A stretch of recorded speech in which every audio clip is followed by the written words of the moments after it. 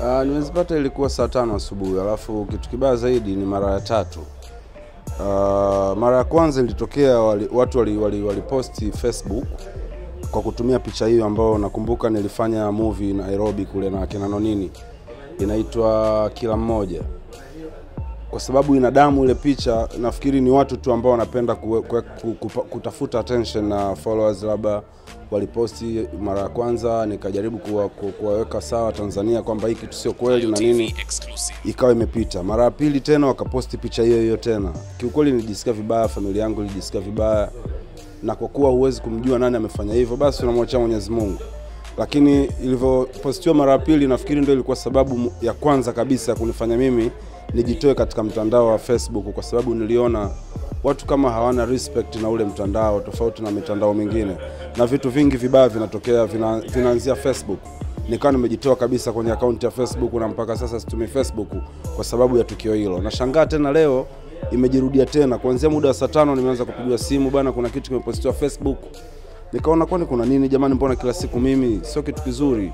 Na mimi naamini kabisa Mwenyezi Mungu anaona. Unapomwambia mtu mabaya, mara nyingi huwa anamrudia mtu anayemwambia mwenzie mabaya. Lakini mimi sina cha kuongea zaidi ya kusema asante Mungu, bado nipo na pumzi, na hao ambao wanao- wanaosambaza mabaya waendelee kusambaza, lakini mtu anayesambaza inaonekana itakuwa maksudi, kwa sababu picha anayoposti nywele ambazo zilizokuwepo katika picha ile na muonekano wangu wa sasa hivi ni vitu viwili tofauti. Kwa hiyo anaposti kitu ambacho anakijua, ndo kitu ambacho kinaniuma. Kwa nini uposti kitu ambacho unajua kabisa hii na posti sio kweli? Binadamu wote tutafariki, hamna ambaye anabisha kufariki, lakini kila mtu atakufa kwa time yake, sio kwa kuzushiana bwana.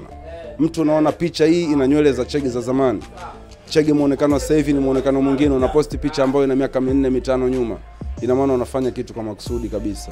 Mi naona sio kitu kizuri, tuitumie mitandao vizuri. Nakumbuka kauli ya Mheshimiwa Rais Magufuli alisema anatamani malaika ashuke azime mitandao yote kwa kutokana na vitu vinavyoandikwa vya kipuuzi. Unajua mitandao inaweza kue, inaweza kuelimisha, inaweza kufanya watu, watajirike na inawachafua watu, lakini tusichafuane kwa staili hiyo, tusiombeane mabaya. Mimi ndio kitu ambacho naomba Watanzania wenzangu tuitumie mitandao yetu vizuri, tusitumie kwa, kwa, kwa nia mbaya, kwa nia ya kuwafanya watu wakae sad, sio kitu kizuri yani. Ah, nimepigiwa na ndugu zangu wote, naamini wote Tanzania nzima. Nimepigiwa simu sana kutoka nyumbani Kigoma, nimepigiwa simu kila sehemu, nimepigiwa kila mtu ananipigia, wengine wananipigia wanalia, masista zangu wanapiga wanalia, masista zangu marafiki wanapiga wanalia, wakiongea na mimi ndo ile wanakuwa safi, lakini sidhani kama ni kitu kizuri sana. Watu wanakosea sana, wanatumia mitandao vibaya.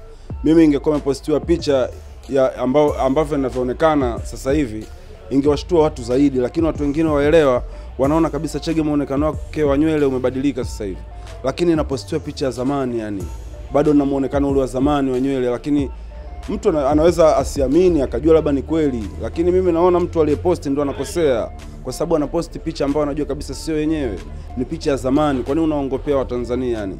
Kwani unawaongopea watu kwa kitu ambacho hakina msingi, hakikusaidii chochote? Followers watakusaidia nini bana? Hizi kiki yani kiki, zi- kiki za nini? Mimi sifanyi mziki wa kiki, usitafute kiki kupitia mimi, usije ukategemea mimi nitakusaidia wewe kupata kiki.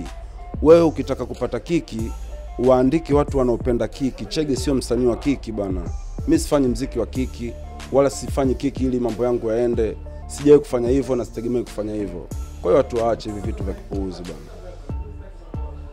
Kazi yangu ni kukuhabarisha. Jiunge na ripota wako Millard Ayo na upate habari zote. Install app ya Millard Ayo inayopatikana kwenye Android na iOS kwa jina hilo hilo la Millard Ayo. Utapata notification kila mpya inapoingia, kuanzia za mastaa, siasa, michezo na mengine ya dunia.